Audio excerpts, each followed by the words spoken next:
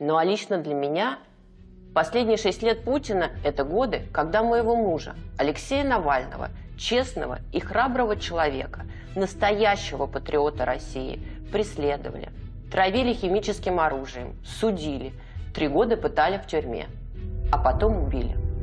И это тоже сделал Путин, тот самый Путин, который поклялся в своей присяге.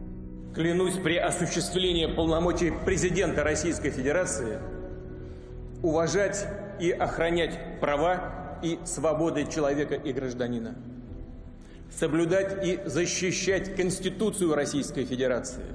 Его обещания не просто пусты, они лживы. Это длится уже 25 лет. Так будет и в этот раз. С каждым его сроком все становится только хуже.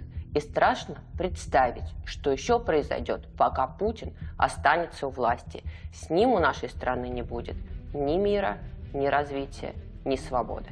Фундамент путинского режима – это ложь и коррупция. Огромные деньги, которые воруют каждый день у всех у нас, чтобы оплачивать ими бомбежки мирных городов, ОМОНовцев, бьющих людей дубинками, пропагандистов, распространяющих ложь.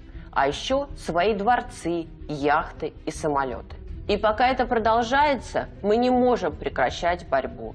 Фразу «не врать и не воровать» Алексей использовал еще в 2012 году – но она не просто не теряет актуальности. Это, я уверена, и сейчас главный лозунг, под которым все нормальные люди могут объединиться.